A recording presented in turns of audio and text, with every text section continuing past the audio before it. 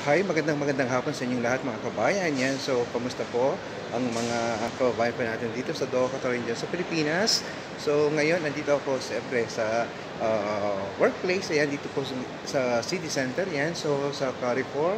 But ngayon, break time mga kabayan. Yan, so uh, pupunta tayo sa R&B.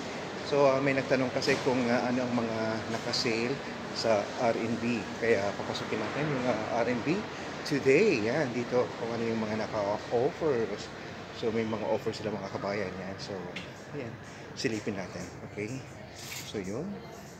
So they have here mga kabayan, no? So, um, I think nakasale pa rin, no? So may mga nakikita kong 10 real, 15 reals like that. So yun. And, so yun mga kabayan. So, good morning. Good morning, good afternoon. okay, tingnan natin. Ah, okay. Ang jacket nila, 119. Ah, to for 119 reals pa rin naman. So, so for 119 reals, makikita niyo yung mga magandang jacket here at R&B. So, yan. And uh, they have here, wow. Meron sila dito is the soccer. Yung soccer mga kabayan yan. So, this is only 30 40 reals. Maganda siya. Okay. So, yan. Brazil.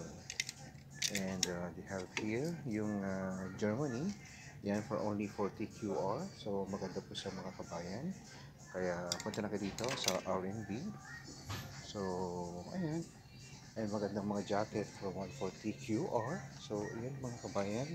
And yung mga hoodie jacket 2 for 109. So yan mapapasin nito. Yan mga kabayan. And mga t-shirt nila is uh, 2 for 50. So from 30 QR 2450 mga kabayan. So, maganda mga t-shirts nila dito ngayon sa amin. Kaya, bisita na kayo mga kabayan dito sa R&B dahil uh, maraming mga nakasale din. Okay? God bless everyone. This is Master M Vlogger. So, um, please subscribe my YouTube channel, Master M TV. Alright? So, God bless everyone.